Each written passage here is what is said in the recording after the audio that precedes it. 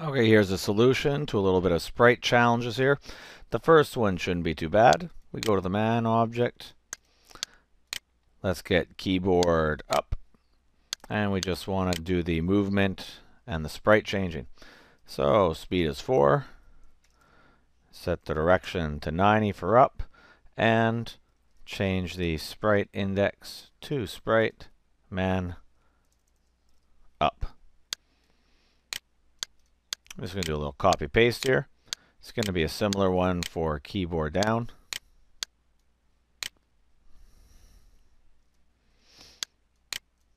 Down is 270 and obviously sprite man down. Let's give this one a go. See what happens.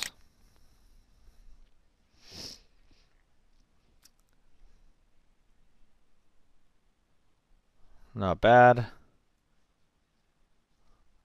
All right, we got that part working. Okay, so that was a bit of the easy one there, just doing the basic sprite changing. Now the next one, we'd said in the challenge that this one's a little tricky. Chest object. So we said put a chest object in the room. So let's get this object in there. And the idea with the chest is, is you touch it, it opens. You touch it, it closes. But what we don't want is we don't want the person sitting there right on top of the chest. And then it's going open, close, open, close, open, close. So we had mentioned use an alarm so the chest can only be open, closed every three seconds. So if we do happen to just sit on top of the chest, it'll only open and close every three seconds. So a little bit of a delay. Okay, for this one, I'm going to do it what I call the long way, just so you maybe learn a little bit, do it nice and clean. Going to go to the chest object. The chest object has to remember two things. It has to remember whether it's open or not. I'm going to call this M open. And I'm going to say it's 0 at the start. And then another one I am going to remember here is I'm going to have a variable called active. Okay, which means if I'm touched, will I change? From open to closed, or will I change from closed to open? This is going to be the one I'm going to use in the alarm. And so once the player touches the chest, I'm going to turn active off. I'm going to switch it to zero. And when it's set to zero, the player can have no effect on it when they hit it. And of course, I'll have an alarm, and the alarm will snap active back to one a couple seconds later. Okay, and then the chest can respond again to being hit by the player. Okay, so M open and active. Let's do the first part here. I'm going to do chest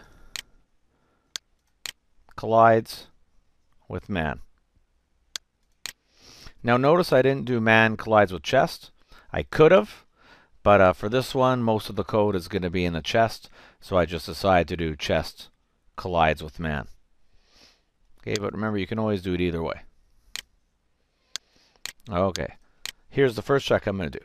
I'm going to say if if m open is 0, which means I'm not open, I'm going to switch m open to 1, and I'm going to change my sprite index equal to sprite chest open. Here's a good use of our else statement. Otherwise, I must have been already open. So M open is going to switch to 0. And sprite index is going to go to chest close. Now, the problem with this is I haven't hooked up the alarm yet. So if the player goes on top, you know, it's 0, it's going to switch it to open. If it's not open, it's going to switch it to closed. Let's just see how this behaves if we can even see anything happening here. It should be a bit random when I touch it. So you can see that stuttering moment of movement it's doing there in the background, right? So it's just doing it really, really, really fast. So let's hook up the alarm and see this alarm working.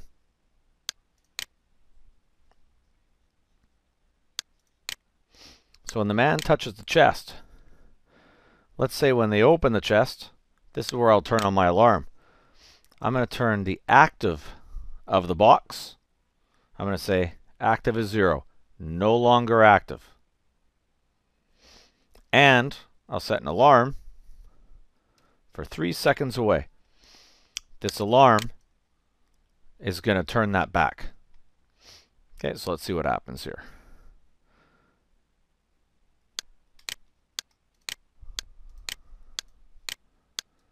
So remember, I turned active off. Three seconds later, this alarm is going to go off. I'll turn active back to 1. Now, if I run it now, well, I will run it now. We'll see what happens. No difference. Now, those of you that are paying attention there are probably asking some question about the active variable. I switched it to 0, but I never actually use it in any of my if statements. So here I go. This is a little bit from last day. I'm going to say if active is 1 and I'm closed, then I can open and do that. Here I'll change it to else. If active is 1 I'll just add that in even though I don't have to. But just so the logic sort of looks similar in both lines here. If active is 1 and I'm open is 1, then I can close. Now technically, I should also put the active as 0 and the alarm 90 is 0 in there too. That way there's a 3 second delay on open, 3 second delay on close. But if you notice the logic here, only when active is 1 is it going to allow change into the box sprite.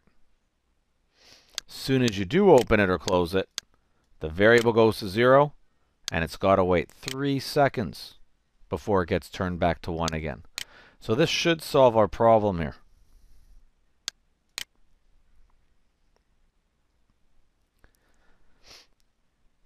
One, two, three. One, two, three. Come on, one, two, three. So it's close. But anyways, you can see it actually is working. So if you were to go open the box, you know, touching it doesn't close it. If I want to close it, I go back after. Now three seconds is a bit of a long delay, but it just gives you that idea that you can control the sprites and not always, you know, just do sprite control, but you mix the sprite control up with other logic. So that was a tricky challenge. Hopefully, uh, even if you didn't get it, this solution makes a little bit of sense. And uh, there's another way to actually solve this that I'll show you probably in another video later on. Thanks for watching.